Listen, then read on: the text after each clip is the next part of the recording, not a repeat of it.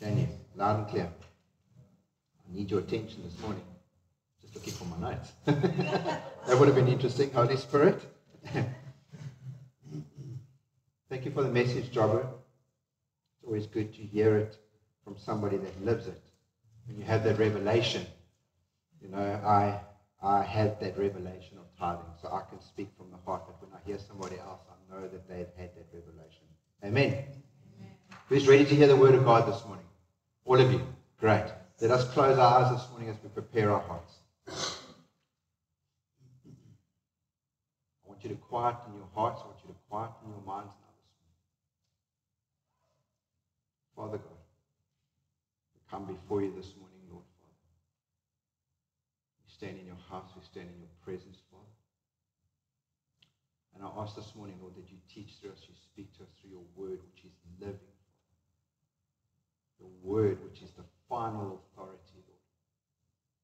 We thank you, Father God, for everything you do in our lives, Father God. We thank you that you show us the rightful path, Lord. We thank you, Father, that you've got a plan and a purpose for our lives, Father, and that you guide us and you lead us in that plan till it comes into fruition.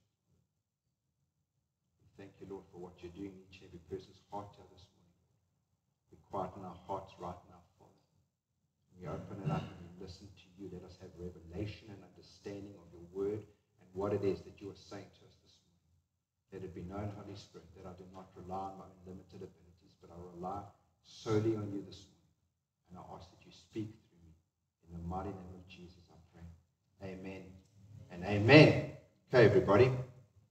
Today I would like to speak to you, and the title of my message is God is Love. So we're going to look at that today, and I'm going to show you specifically, we're going to have an understanding of the word love, which is in reference to God.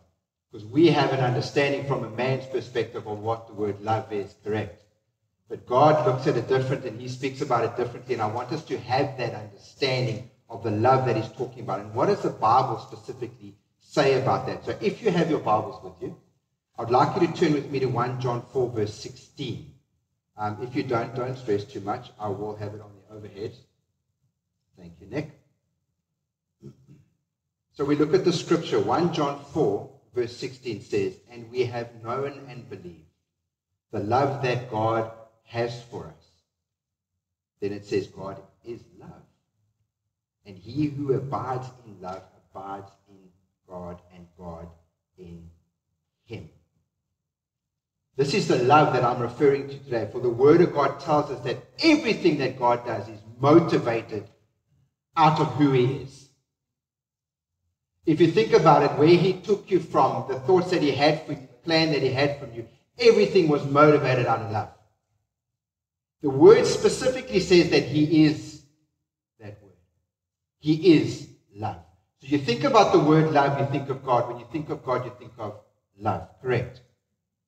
Now, I found myself the other day, um, I can't remember if I was driving in my car or whether I was sitting in my office in my prayer time, in my quiet time, and I said to the Lord, I just felt it in my heart. I said, Lord, please just show me. Let me have a sense or an understanding, even if it's just a fraction, of the love that you have for your people. Just show me, Lord. I want to experience because you read about things in the Bible, you read about the accounts of the Israelites and all that they did and the behavior of them. You look at the world and we found what's taking place in the world. And you look at people, what they call themselves Christians, but they're not acting Christ-like. And I looked at that and I thought, Lord, just please let me have an understanding because I'm struggling. Show me, let me sense that what type of love that you have for these people that is unconditional, that looks past that, that looks past our sin, that looks past our ways, and it just looks at us with that pure love. And when I was praying that, the Lord showed me, and as I was reading through the Old Testament, through the prophets of the Old, and how I was reading through that, and how the prophets would, yes, the Word of God would rebuke them and convict them. Because the people would always run off and do their own thing, wouldn't they? They would go on their own way, go after the things and the lust of the flesh, the wickedness that the Word speaks about, the deceitfulness, the lust of the flesh. But yet, deep down, there was always love for the people that he had. He had such a love for the people that from the time of sin, when sin entered the world, the time of Adam and Eve, right from there, the love of God that he had for his people was always to bring them back into fellowship with him. Because this word is specific and it says there that he is love. Every book that we read in the Bible speaks about it, speaks specifically about the love the love that he people had, the love for the people that he had. Turn from your wicked ways. We read about the accounts over and over again. Turn from your wicked ways. Come back to your first love. I've preached about it. Come back to your first love. We read the parables. And one that stands out specifically is the parable of the lost son. And we know the account there, where he wanted his inheritance. And he said, Father, give me your inheritance that I may spend it now. I want it now. How many times have we desired and said things, I want things now? I want it now. I don't want to wait. So I'm just going to have some.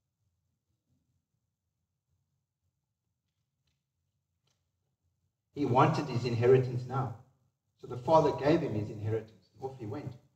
And he squandered it on all the things of the flesh, all the desires of the world. Every single cent that he had, he wasted. We know the account, don't we? Where did he end up? Sleeping and eating with the pigs, sharing the food with the pigs, all while his father was waiting for him, ready, lovingly. And I know that he, I know, let me get this right. In my heart, I know that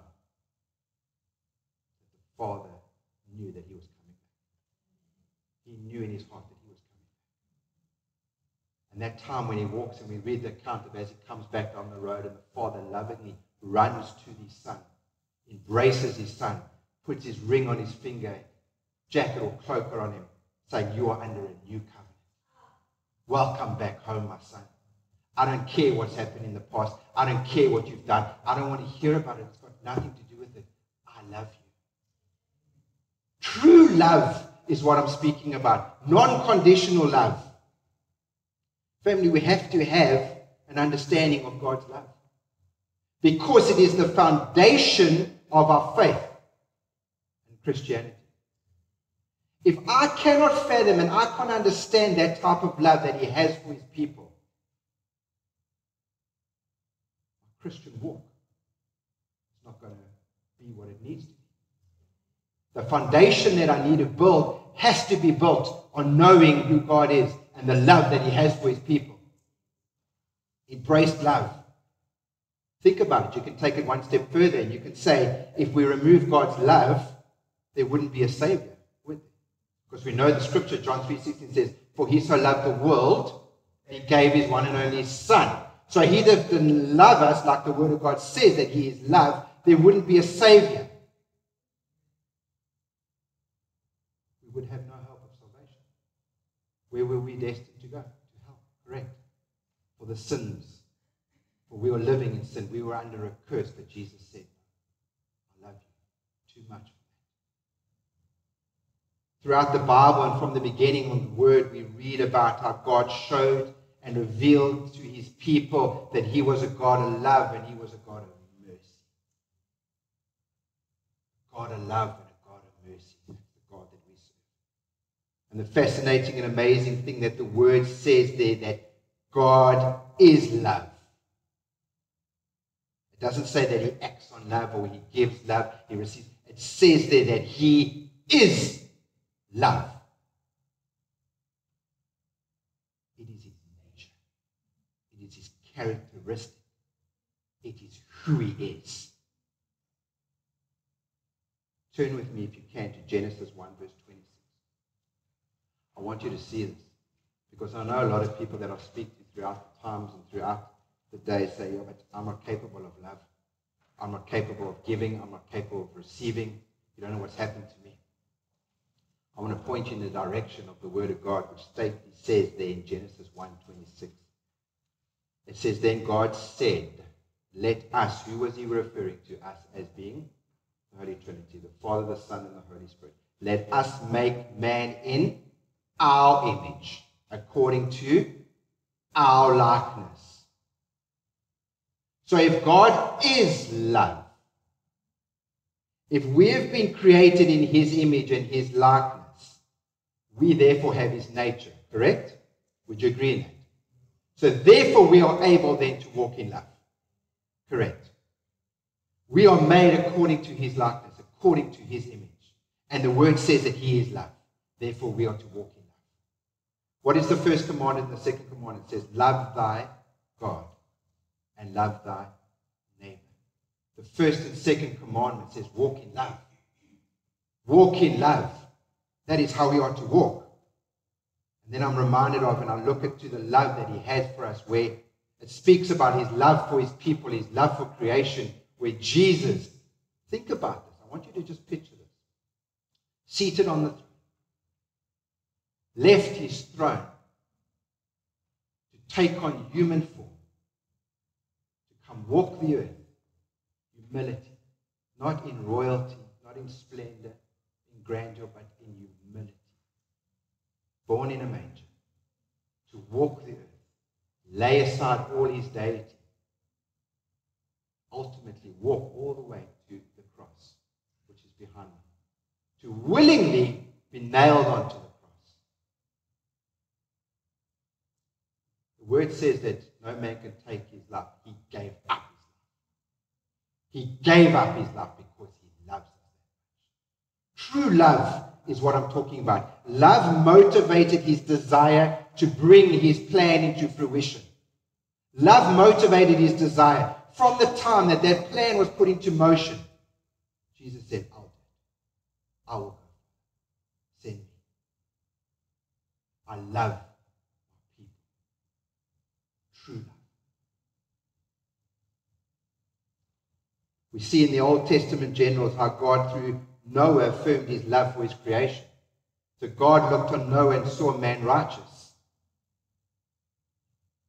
By the blessing of Abraham, we spoke about this. I've given a sermon on that. We are under the inheritance of. Correct? So by the blessing of Abraham, God called Abraham to be blessed, that is, his descendants, who we are, would be blessed. Correct? Love of the Father. God revealed himself to Moses and showed that he was a God of mercy and a God of goodness. Moses said, Reveal yourself, let me see. God revealed his love to the children of Israel, and we read the accounts of what all they did. And what was interesting to know about that is that love was not based on their performance. they didn't deserve it. God's love is not based on our performance, but it's based on who He is. I am love, therefore I shall love. And what's the great thing? It says that it, who God is, not who God was, past tense. It's who God is, future, present, and past. It's who He is.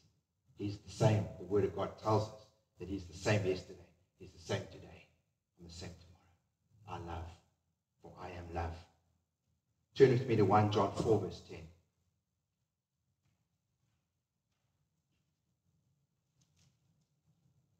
One John four, verse ten.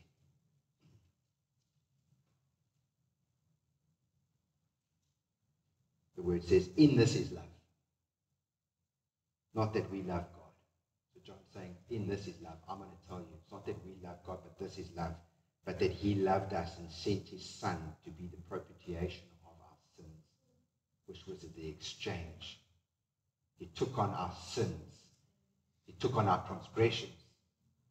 The sin that was due us, he took it on him. Isaiah talks about it. He bore it all. True love is what we're referring to here. When we say that God is love, we understand that it is non conditional. It's not based on our performance. It's not based on our behavior. It's not based on what we deserve. He's saying, I am love and I love you. It's not man made. Our man made mind tries to fathom the word love and we try to condition about it and try to make sense of it. For real love, God says, is that He loved us and that he sent his son to die for us on the cross. and to take our sin that was due to us and our, um, not sin, our punishment that was due for us. He said, I'm going to take it. Put it on me, Father. Let me take it for them, that they shouldn't have to. True love, non conditional love. At any time could he have said, done with it. I'm done with it. I've had it with it. We read the accounts of the Old Testament time and time and time again. He could have said, You know what? No more. I've had enough. But he didn't.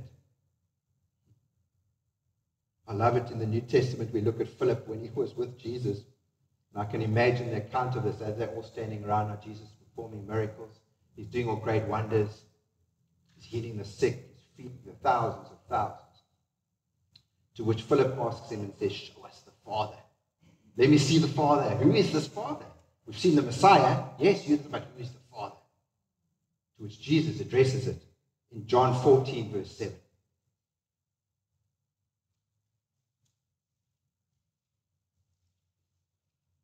The sound of Bibles being paged in a church is holy. John 14, verse 7 says, If you had known me, you would have known my Father also. And from now on, you know him and have seen him. So Jesus says, You want to know the Father? Look at me. Look at me. Everything I do is not my will. Everything that I do, the way I act, the words that I speak, that is. You want to see the characteristic of the Father. You want to see the nature and the love of the Father. Look at me. That is what he's saying. When we read the accounts of this wonderful miracles that Jesus did, the miracles that he performed, the time that he had for the people, how he addressed the people, the humility, nature of God. True nature of God. True love. 9 verse B says, He who has seen me has seen the Father. So how can you show how can you say, Show us the Father? Do you not believe that I am in the Father and that the Father is in me? The words that I speak to you, I do not speak on my own authority, but the Father who dwells in me does the works. Uh, Jesus revealed to us and he demonstrated the Father's love by the words that he spoke and by the works that he. Every word that he spoke, every deed, every miracle that he performed was to show us the love of the Father, the nature of the Father. He said, Look at me and you'll understand who the Father is. Know, as I was reading and preparing, God's got me in Revelation at the moment, and I was reading and preparing in Revelation and continuing in the subject of God's love. And he brought me to the verse of Revelation 3, verse 20. Turn there if you can. Revelation 3, verse 20.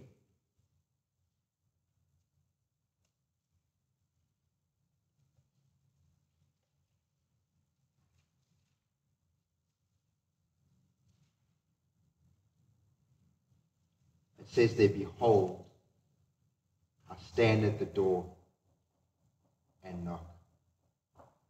If any man hear my voice and open the door, I will come into him and will sup with him and he with me. The word says there, Behold, I stand at the door and I knock. The word doesn't say, Behold, I'm banging on your door. Behold, I'm breaking down your door. Behold, I'm pushing through your door. It says there, Behold, I stand and knock. And then it goes on to say that I won't be forcing myself in. I'll wait for you. I'll wait for you. If it takes one year, if it takes ten years, I'll wait for you. True love knows no time. True love knows no condition. When you open for me, the word says that then I will come in and I will die. That is love. He's knocking when we open, he'll come and dine with us. The word says. Family, we have to have a revelation and understanding of this type of love. Because then and only then can we walk in that love. When we have a revelation and understanding of his characteristic, his nature, when I see what he did on the cross, how he willingly went on the cross and he paid his price for me, sinner, willingly went on that cross. True love. And then only then would I be able to walk in that love. We are all called to love God's people. And a lot of people need a lot of love. I'm serious. It's harder to love some people than others. Let's be honest. But they're all God's people. Jesus never once said, you know what, will do this for you, but I'm not doing this for you. You don't deserve it. He said, I'll do it for everybody. I'm going to pay the price for everybody. But you say to me, Pastor, you don't know. You've got no idea what Sally said about me. You've got no idea what Peter did to me, the things he did to me, the things he said about me. You've got absolutely no idea. If you had any idea, you would understand that I can't love that person. Think about it. Jesus, for one second, while he was on that cross, said, Father, do you hear the things that they are saying about me? Look at the things that they have done to me. What did he say? Forgive them, for they know not what they do. True love. The love of the Father. It right there. I want you to bow your heads.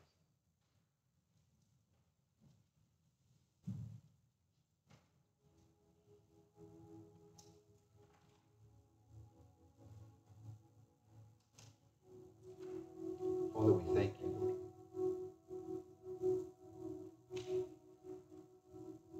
You've revealed to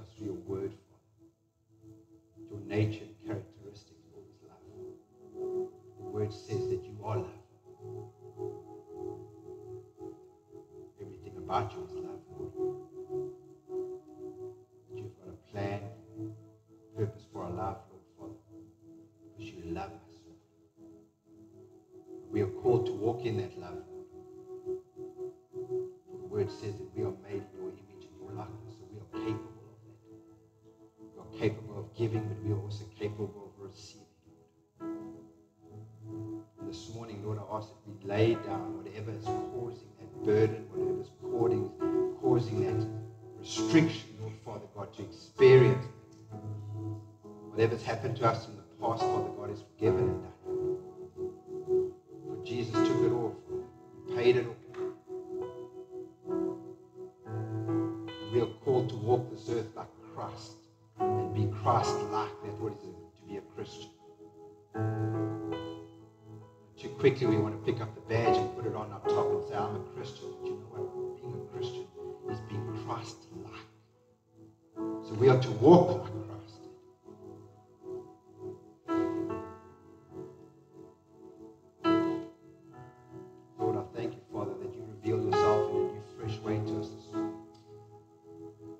Father, each and every person seated here, let them experience, Lord, let them have a sense of the love that you have for each and every one of us. Give them a taste of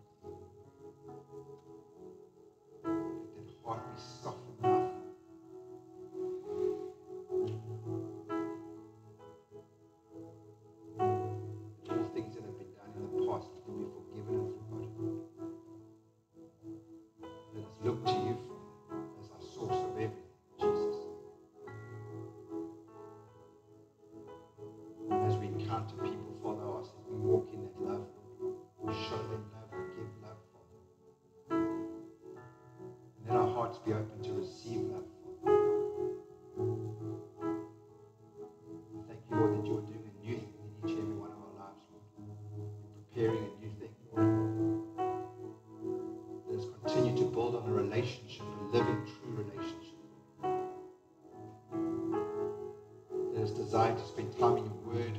Let us desire, Father God, to spend time in the quiet spaces where we can hear your voice, where you can speak to our hearts. Let us stand far and be far from the things of this world, Father, the desires of this flesh. Keep us far from temptation. Let us desire one thing and one thing only, and that's relationship.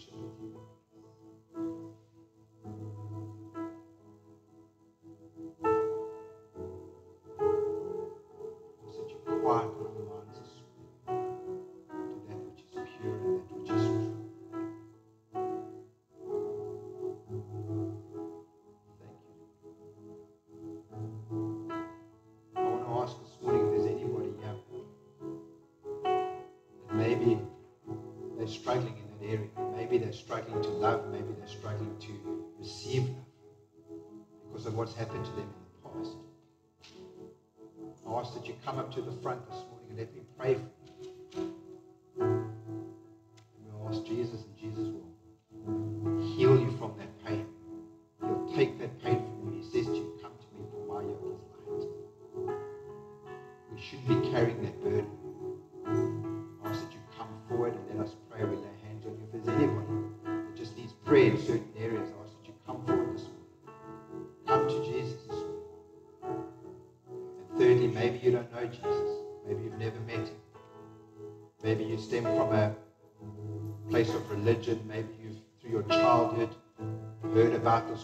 Heard about this Jesus, but you've never had a true living relationship with him.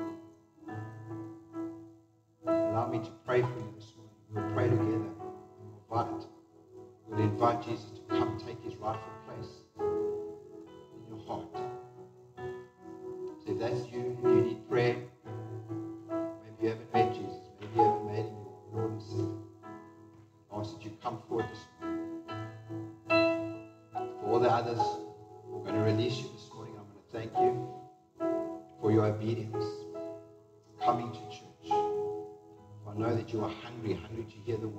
to hear about the things of the Lord, hungry to